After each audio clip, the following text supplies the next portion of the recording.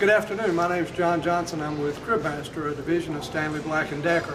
I wanted to take a little while today and talk with you about Cribmaster inventory management solutions, specifically those solutions for manned and unmanned tool cribs and storerooms. Uh, before we get started, I thought it might be nice to show you our corporate manufacturing facility here.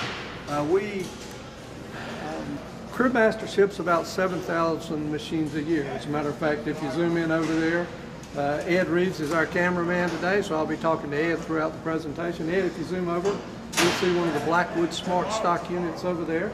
Uh, and so although we ship many vending machines, Cribmaster is first and foremost an inventory management software company. Uh, the company was formed in 1992 and for the first 11 years all we did was crib software and storeroom software and then after that we got into the vending piece of it. Uh, so I wanted to at least give you a look at the uh, facility that we're work out of. And uh, now let's take a few minutes and go inside and look at the point of use solutions. Great. So we're in the Cribmaster demonstration area now. We have one of all of our vending machines and all of our point of use devices set up in this uh, area. First thing you'll see here is what we call a Cribmaster point of use device. It's a combination um, touchscreen as well as a computer and the Cribmaster software is on this system. This is primarily what I'm going to work with, and this would be what you might use whether you were in an unmanned storeroom or a manned storeroom. And we'll walk through both scenarios. Over here on the left is Prox card reader. This is where I might use my employee card. Typically we'll use your cards and just uh, uh, scan those into the reader. And over here on the left hand side is I have a wedge reader or scanner that I'll use for barcodes. That's what I'm going to primarily talk about today. So the first thing I'll do, if I'm an employee, I may just want to find out if I have inventory on an item.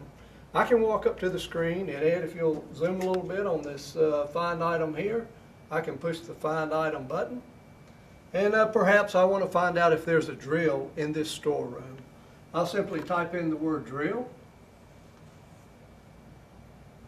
hit enter, and it'll tell me, yes, I do have drills in this storeroom. I'll double click on it. And you'll see that I have a three-quarter inch Black & Decker drill in this storeroom. Now if I didn't have inventory at the time, I may want to go a step further and hit the button over here. If you can see it, it's called All Cribs. I'll click on All Cribs.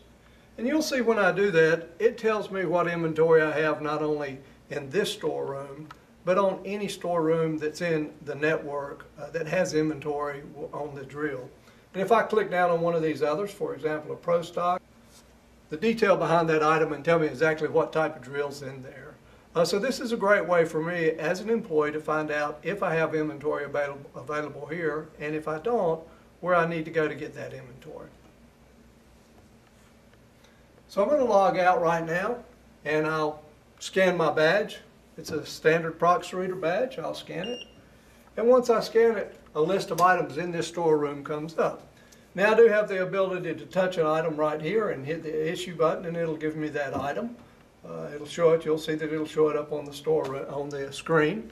But normally what happens is that an individual would pick up a scanner like this one and if they're have this set up in the front of the storeroom, they'll bring that item to the front of the storeroom. Maybe they'll have four or five items with them and they'll just scan them and issue them out. So I've got a couple, you'll see I've got an orange brush here. I'll simply scan that. And I've also got a drill, that three quarter inch drill here. I'll shoot my barcode on that. And then I'll go ahead and take a, a hammer. Now each of those items have their own barcode on it, so it's very easy for me to bring those in, uh, that inventory up and scan it out as I need it. I may have other inventory in shelves or, for example, in a drawer like this one that I want to scan, for example, in this drawer. And so Ed, if you'll zoom in a little bit, you'll see that I do have a barcode on the back of each of these bins. I can shoot that barcode and you'll see that that item appears and I have two there now and as I continue to shoot I may have more. A lot of times our customers will use a cheat sheet like this one. If you zoom in and get a look at the cheat sheet you'll see I have quantities on here so if I want to issue 10 of this particular item I simply shoot that barcode and you'll see that 10 comes up in that location. I could also clear an item off or I could log out uh, using this um, cheat sheet. I'll go ahead, I could have a scan for an issue, but what I'll do is just hit the issue button and all those items have now been issued to me. Now, Typically, this uh, system will log out within four to six seconds because it's in a demo area and uh, sometimes the sales guys get a little long-winded. We don't log it out that quickly. So what I'll do now is just reach up, hit the log out button, and you'll see I'm logged out and I'm ready for the next employee. Uh, I don't have to use a prox card here. I might use just a list of employees with the, um, and each one of them might have their own PIN number. For example, on this screen over here, can you zoom over to here? All the employees are listed. They have their PIN numbers. They'd simply come in, find their name, put their PIN number in, and then they'd have uh, access to go out and issue their tools.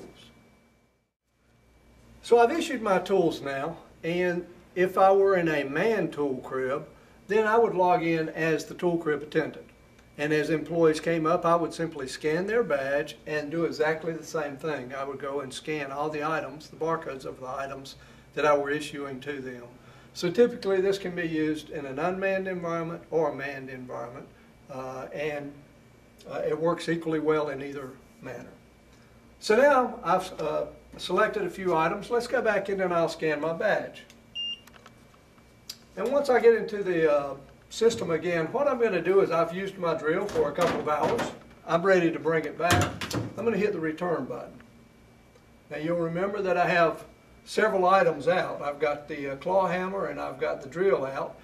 Those are both of my durable items. The system knows that they need to be returned.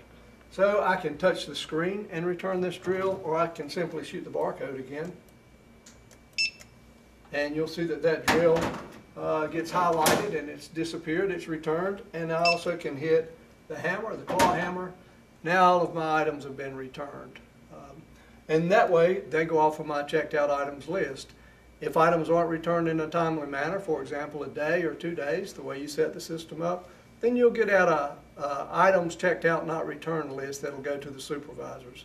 And those reports can be emailed once a day or once a week or on any pre-scheduled time that you want. I'll log out of the system now, and I'm back into my scan mode. Okay. So one approach that many of our customers use is to use a, is to build an uh, indirect materials inventory catalog. And in that case, what they do is simply scan in, and they bring their items up, but rather than using the touchscreen, they may just find that item in their catalog and shoot that item and issue that item. And you'll see that those items get issued on the screen.